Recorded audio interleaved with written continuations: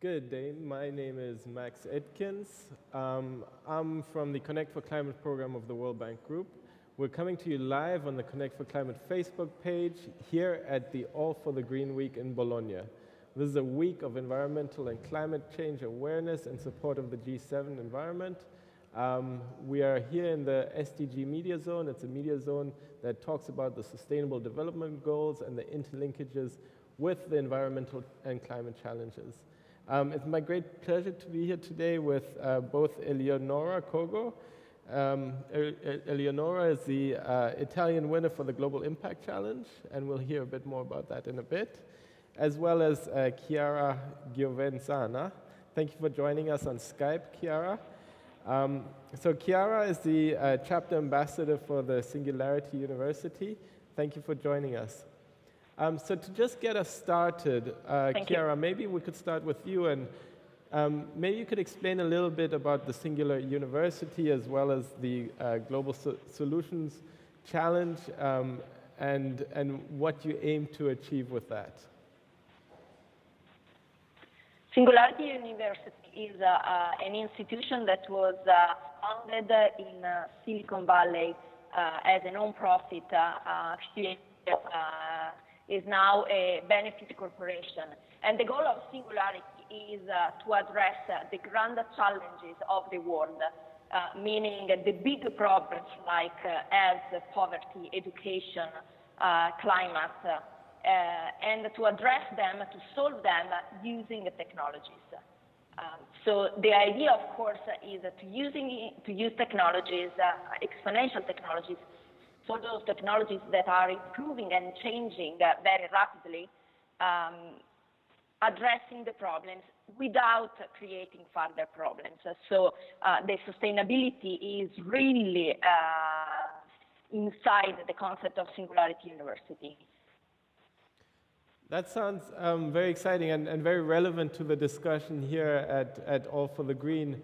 Um, and I'm sure, as, as you know, when you look at the grand challenges, a lot of them interlink with each other. So if, if you address climate change, you also end up addressing environmental pollution, you help protecting the environment above and below the sea. Um, but you also need the education and the necessary, uh, for example, sustainable cities or uh, affordable and, and uh, sustainable energy for all. Um, so I understand this year your focus was around climate change. Could you explain a little bit more um, what exactly you're asking of the participants and, and some of the outcomes of the challenge? Uh, so as you mentioned, uh, all the grand challenges are uh, intertwined and very connected. And uh, uh, so are the problems, uh, but also the solutions. So when you find, when you look at specific technologies, you cannot nowadays imagine a technology that is not connected to other technologies. So artificial intelligence is connected by technology to nanotechnologies, for example. And uh, the climate uh, change is really one of the biggest issues that we have right now. And so that's why we've been asking to participants to come up with potential solutions for that. Um, and the reason why climate change is one of the biggest challenges is that uh, we have only one uh, planet, basically. And so uh, if we don't take care of this planet, uh, uh, there's, uh, it doesn't matter what we are doing in other fields, because it's really only one planet. So that's why we started with climate change as the first one. but as you said correctly, uh, even when you look at climate change, you always have uh, to address and keep in mind uh, all the issues that you might have and that you have in cities, in poverty, in education, in all other challenges. So the, the concept of um, cross-fertilization and contamination is really key.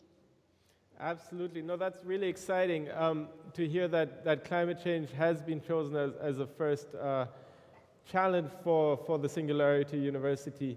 Um, now, climate change is a multifaceted issue. So it, it is driven by human emissions of greenhouse gases, um, and it's having the impact that it's warming the world, which is affecting the ocean levels, it's changing the um, periodic uh, climate cycles, it's causing more droughts, it's having more extreme weather events. Um, so on one side, part of the solution is really that people have to adapt to these future climate impacts. Um, on the other side, you have to also continue to mitigate, so to reduce the amount of greenhouse gases being produced. Now, Eleonora, you were the, one of the winners, uh, the Italian winner of, of the challenge. Could you maybe explain a little bit more about um, how, how you got involved, firstly, and then also, secondly, what, what is the solution you're proposing? Yeah. So, um, the reason why I got involved, I mean, I knew a bit about Singularity University, but the fact that this year they decided, in addition to, you know, the focus on, on all the challenges, they decided to have this kind of overarching theme on climate change was, you know, a big call for me because I've always worked on climate change, both on, uh, you know, emission reductions projects, and more recently on, uh, on how we deal with climate change, you know, with its impacts and what we can do to, to mitigate those, those risks.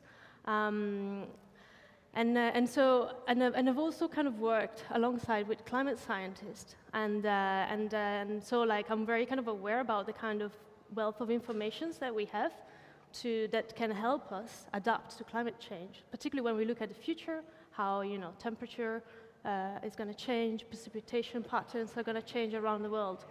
So, so my idea came from kind of working with scientists, and, and I realized that you know there's this very kind of um, precious informations that unfortunately too often remain stuck in academia.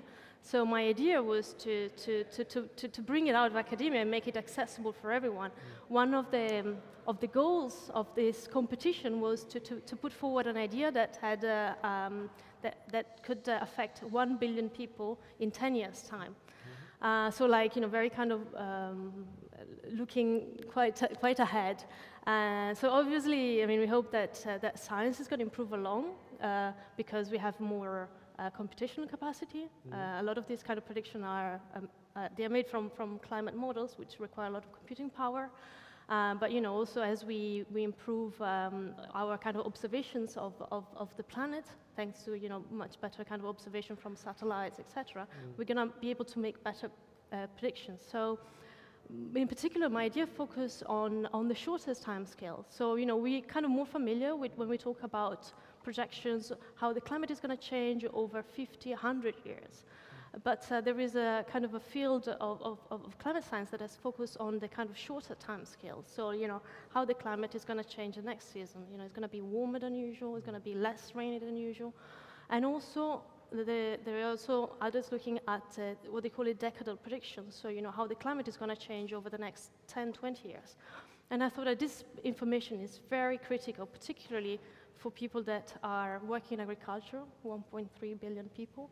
Mm. Um, if you look at you know, how, we, how much energy we consume or, or, or production from renewable sources, that's also very uh, linked and impacted by, by, by, um, by climate. And also, you know, when we, when we, when we look at you know, how planning about new infrastructure, you know, knowing whether it's an area that is going to be prone to flooding or you know, sea level rise, etc. So my idea was to gather all this information and make it accessible to the public.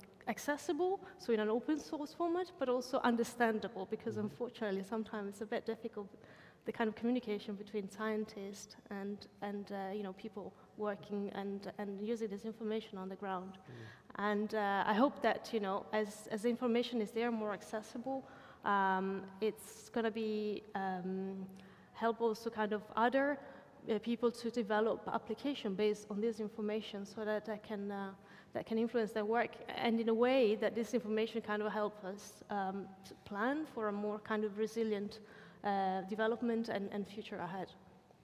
No, that sounds really exciting. Um, so it's really linking a lot of the new technologies at hand. So we've got new computing powers as well as you know mobile access. Um, we're being fed information through the internet all the time.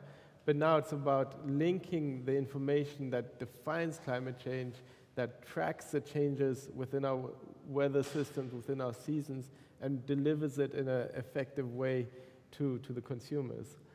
Um, so let's dig a little bit deeper into that. Um, so in particular, I was interested to hear that you want to use the forecasting and the predictions for the development of renewables, how exactly would you present that to renewable energy developers? How would they uh, pick that up and apply it uh, in their work? Yeah, well, it's more about kind of facilitating the access to the information, which then is going to be kind of integrated into their kind of decision-making process. So, you know, if they know that, uh, that a particular area is going to be um, particularly prone to um, drought, there's going to be less water availability, that perhaps is not a good area to build, you know, a hydroelectric plant because there's going to be, so it's more about the kind of user information that you make.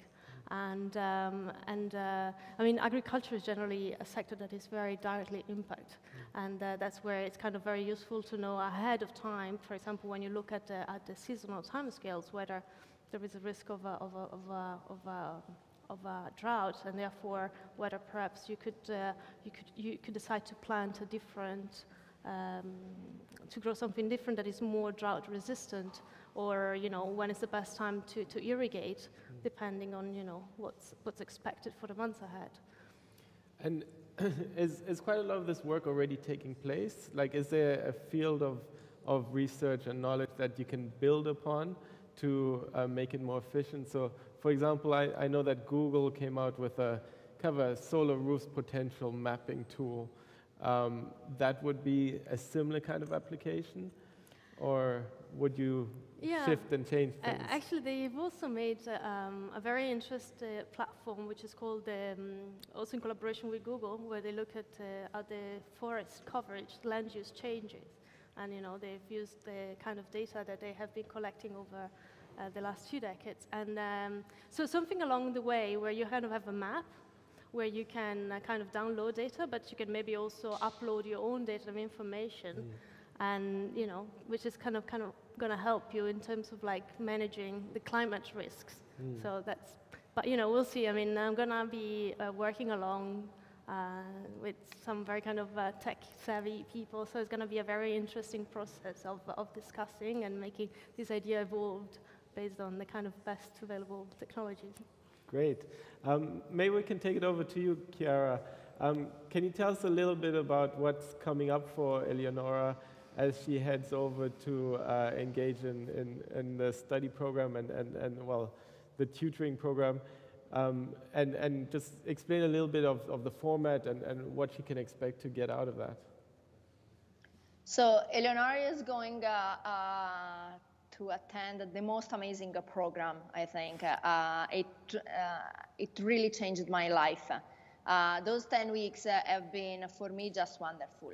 Uh, because you are with uh, uh, 80 other people from uh, many different countries, from different background, different culture, different experience, but also uh, in a different time of their life.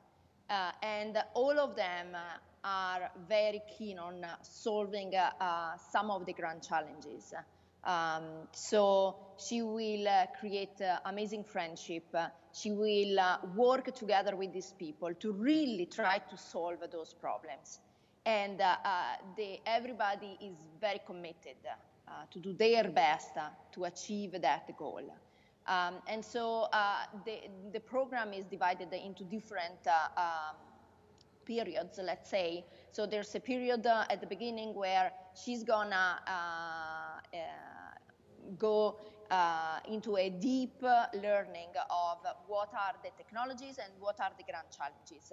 So a, a very large overview of, of uh, what's uh, available and what the problems are right now.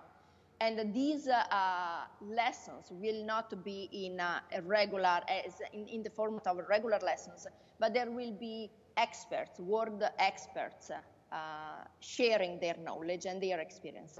And then there's uh, um, a second part where uh, the students, the participants, uh, really uh, try to absorb uh, the Silicon Valley ecosystem. So they are going to visit different companies, different experiences that are in Silicon Valley. And the last part is um, the, the team project.